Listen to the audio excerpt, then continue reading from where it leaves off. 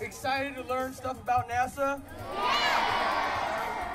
Recently, NASA Ames brought a hands on science and technology experience to Northern California students for two separate Space Day events.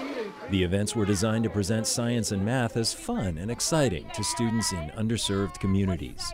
One of these was held at California State University, or CSU Fresno, and attended by elementary and middle school students from the Fresno area. Organized by the CSU Fresno Community Based Learning Program, the event featured several interactive activities and exhibits provided by the Traveling Space Museum. About 500 students enjoyed launching rockets, riding a hovercraft, and discovering some of the concepts of physics that astronauts encounter in space. Students also listened to an inspirational message from NASA Ames Deputy Director Lewis Braxton. That's why you're here this morning because you made a conscious decision that you wanted to understand more about what does it take to be successful. If I wanted to become an astronaut, what is it going to take to make sure I have the educational background to get there? A few days later, the Traveling Space Museum joined NASA at a similar event held at the Ronald McNair Academy in East Palo Alto, California.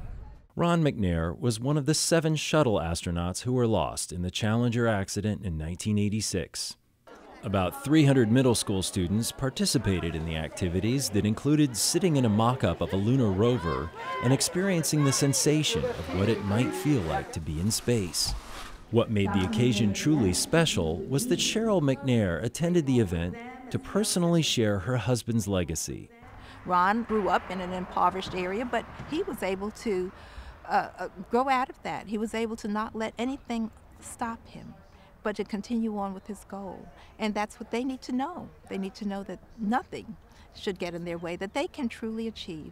The NASA Space Day events represent part of NASA's goal to inspire the next generation of students to pursue studies in science, technology, engineering, and math.